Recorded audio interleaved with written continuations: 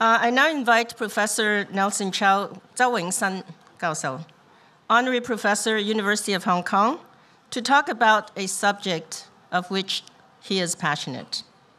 Hong Kong's new generation of the poor and the needy.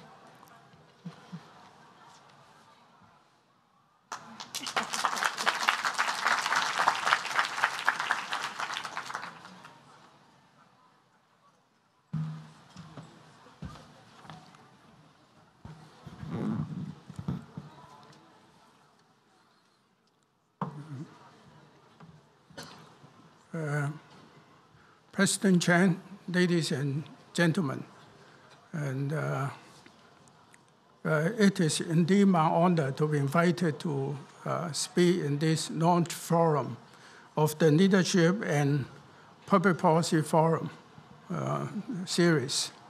And uh, I treasure very much this chance to uh, speak to this distinguished audience, mainly because I, think that gave me the chance to voice out the uh, perhaps the hardship and also the difficulties of the underprivileged in our society.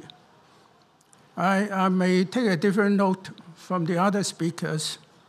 I'm not going to tell you the successful story of Hong Kong, perhaps the darker side of our society. But anyway, I think when we look ahead uh, to the future of Hong Kong and also uh, what is what are the visions for our society, for our future.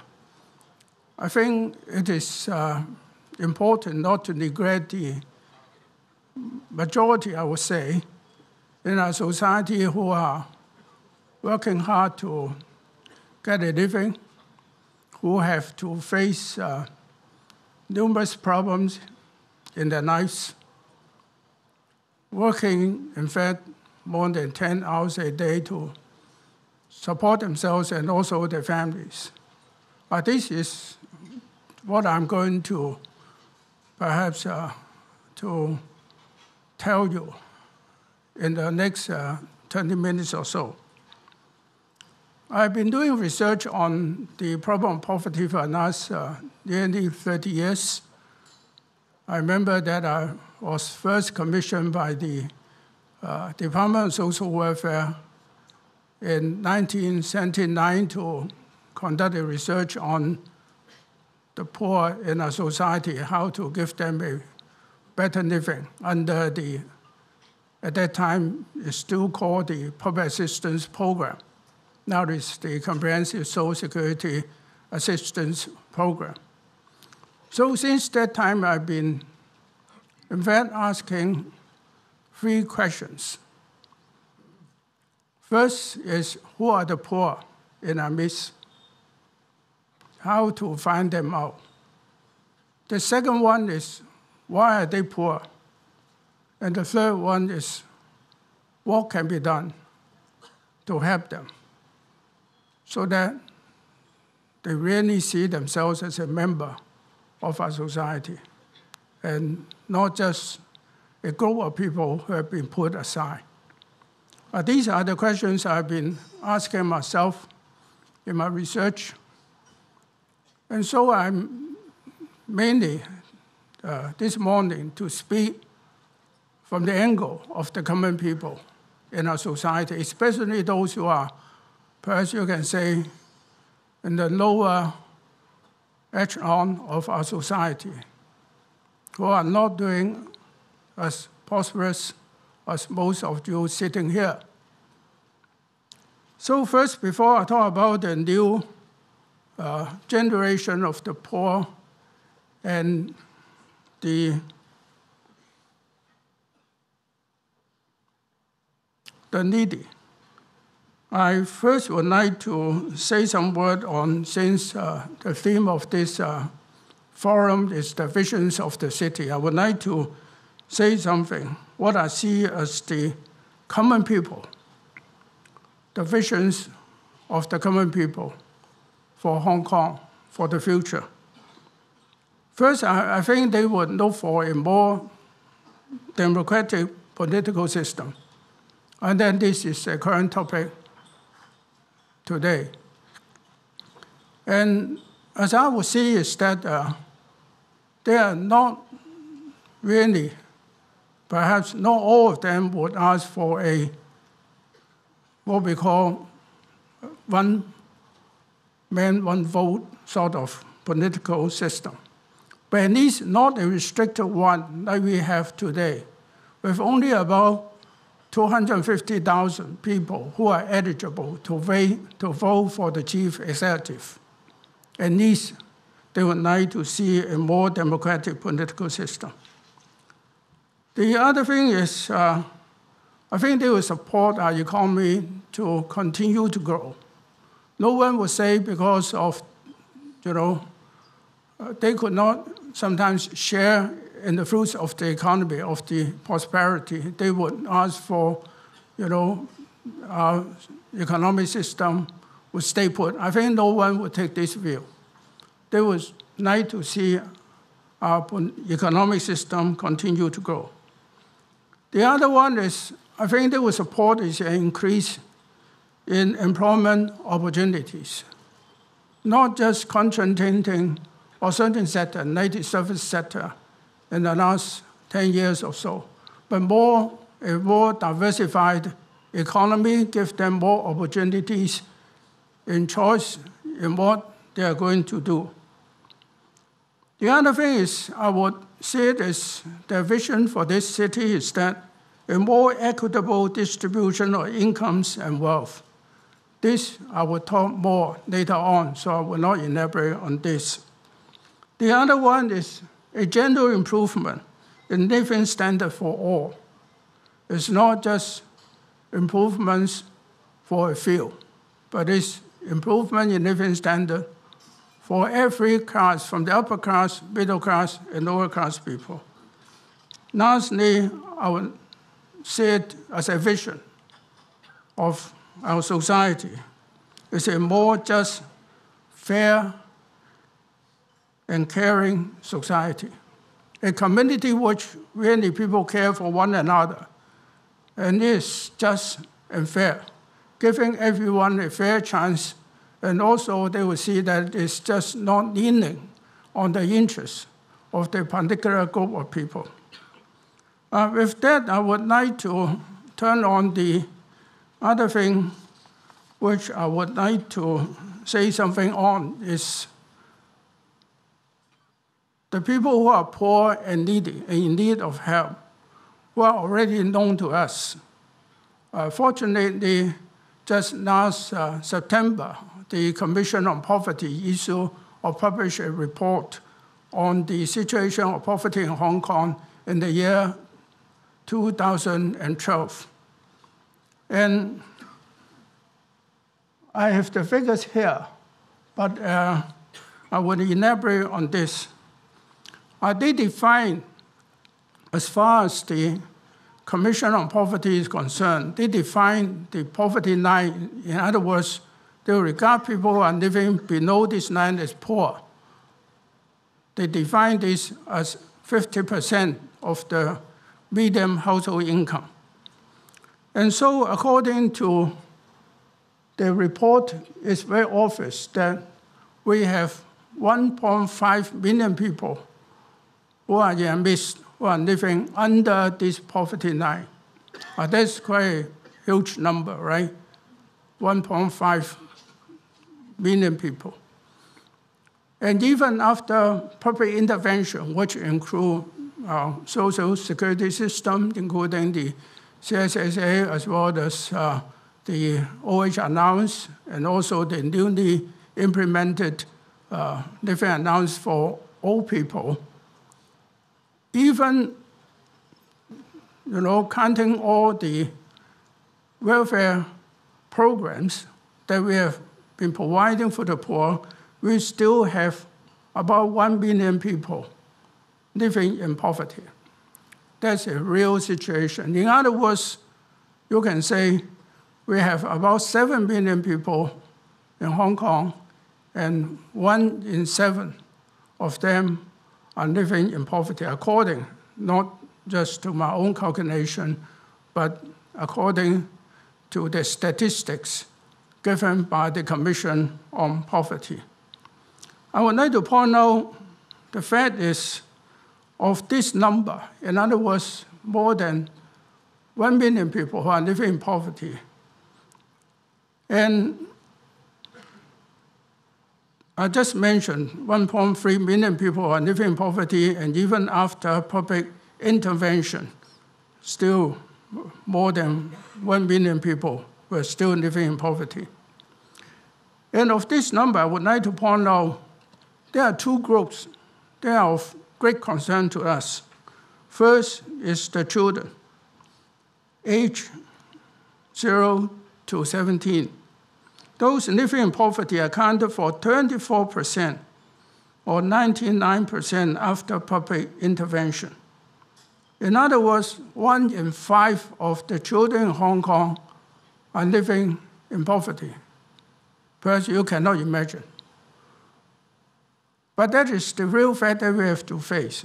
When I was still with the Community Care Fund, we look at the possibility of having those who are not receiving CSSA, but those who are still living in poor households and how to help the kids living in poverty.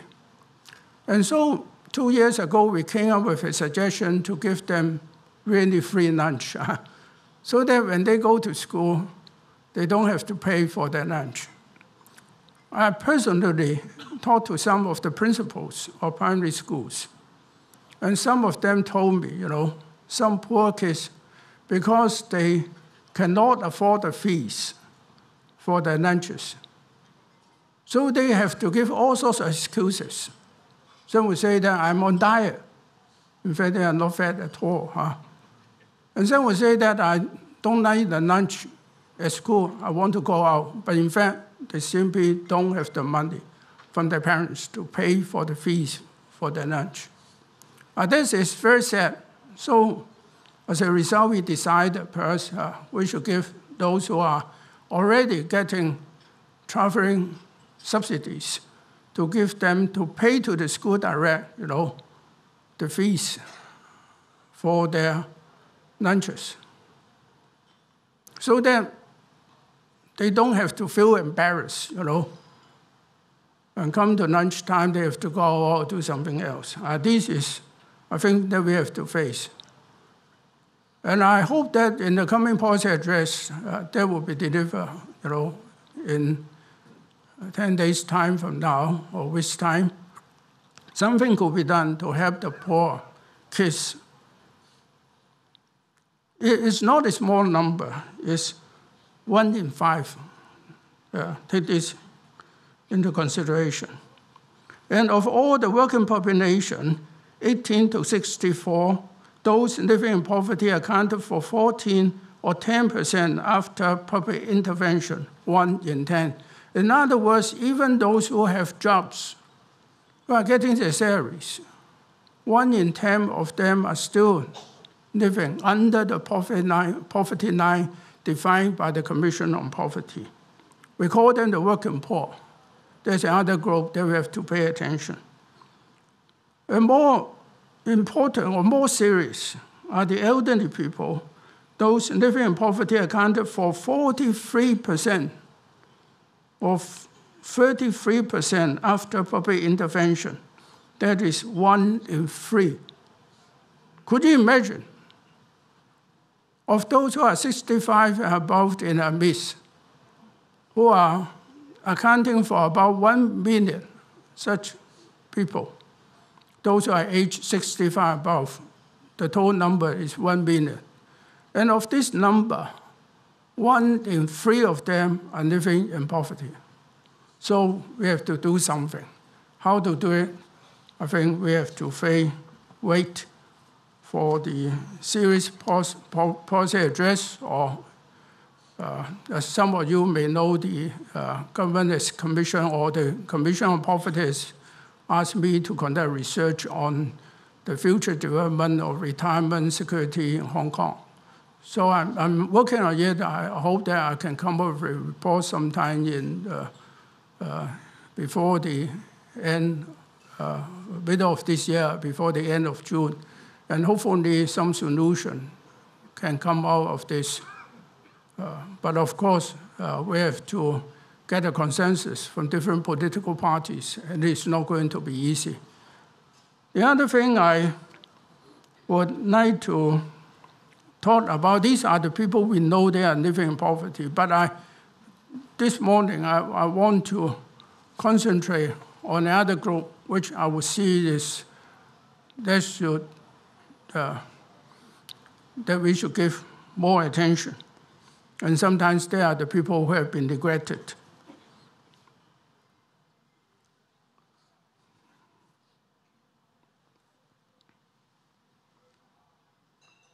Uh, this is the figure from the third quarter of 2012, just a few months ago.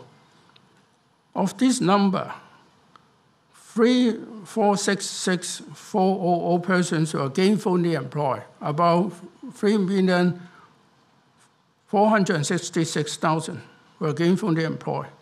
The median income was 13,000 same as a year ago. In fact, last year, the median income has not uh, gone down.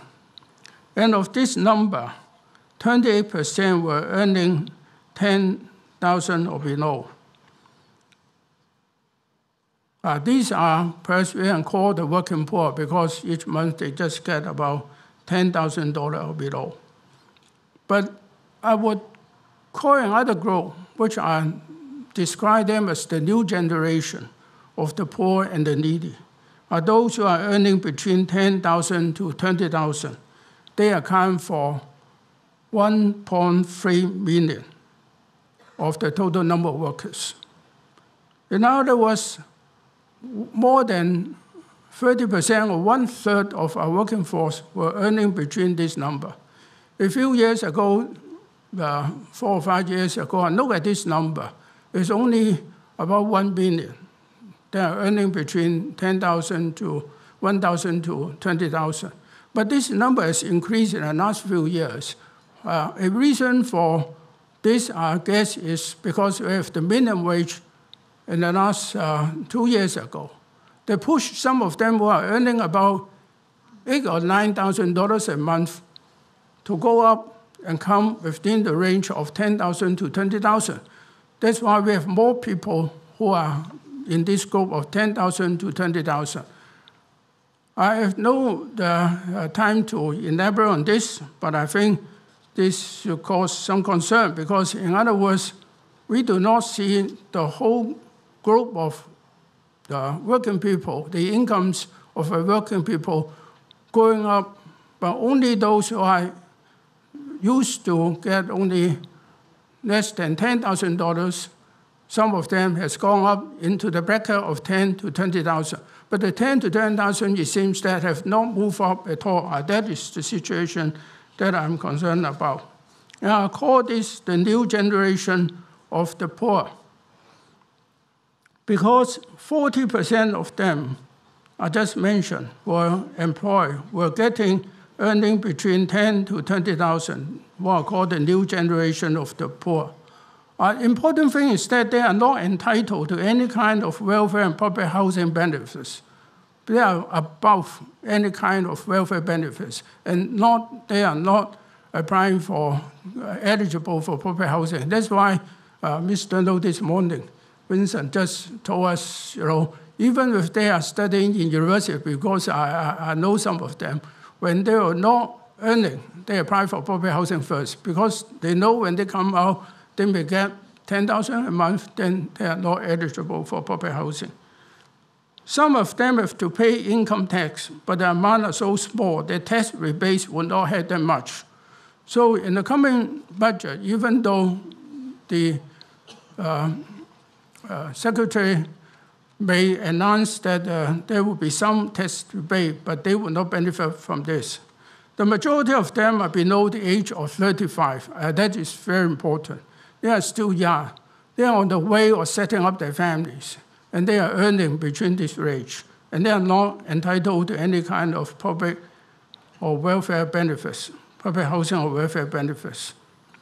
And then the other figure we can see is that the median monthly earning, employment earnings of those aged 15 to 24 stood at 9,000 and 13,600 for those aged 25 to 34. Uh, in other words, what I'm trying to say is that I describe this as the new generation of the poor and the needy. They are earning ten to twenty thousand dollars a month. The number is about 1.3 million. They are not entitled to any kind of benefits. So they are trying to, but, but they will not have any kind of uh, prospect for themselves. So what I'm trying to say is that the problem faced by the new poor, they have to face the high rent costs or accept the reality to stay in partitioned housing. No, 嗰啲劏房吓。Some apply for public housing when they are still studying and have no income of their own. Their incomes increase only marginally, even after they have worked for 10 years. And they could have hardly saved for the first payment of a housing mortgage. They will, not, they will find it hard to purchase a housing unit and set up their own families. Uh, these are the problems which they, they, they have to face. So I, I, I would say the questions they, if you are looking, you know, the vision for the future for this new generation, they are not a small number. It's 1.3 billion people. They are working. They would like to ask economic development for whom? When we talking about economic development, they will ask is that even with increase in our GDP, in fact, the evidence tells them in the last 10 years or so, our GDP has grown for about 34%. But the income has not increased that much. Some of them may just have a few percentage points increase or less than 10%. So the question they would like to ask, if you are talking about faster economic growth, but that is for whom? The next one is we are now concerned very much about the housing development, but they would like to say housing development for whom? Is for the developers making more profits or really providing a decent apartment for them? Can they afford to, for all the new housing units which are going to be developed? Uh, that is the question they ask. The last one is political development for whom? the new poor have find they have little say on the making of public policies. Uh, that's, I think, their concern. I hope that this leadership and public policy series can give some answers to this group of people. 1.3 million workers who are earning 10,000 to 20,000. Lastly, conclusion. I would like to point out that the new poor, which I describe, have hardly any vision for this great city. Uh, that's the, I seem to be a bit pessimistic, but I hope that I'm, I think I'm telling you the truth. Because I've done a number of research and I've talked to some of these people. The other thing is that the new poor have hardly any hope for their own future unless uh, the economy is more diversified. They will not have any opportunities to move up at all. They are the most discontented group in our midst. A lot of research and surveys have done. Those who are participating in protests, demonstrations, and now make up this group of people who are university associate degree graduates, who are aged under 35. They are not poor. They are not getting CSSA. They are earning ten to twenty thousand dollars a month, but they are most discontented which I can say. We have to change our mindset before we can talk about our vision for our city. Thank you very much.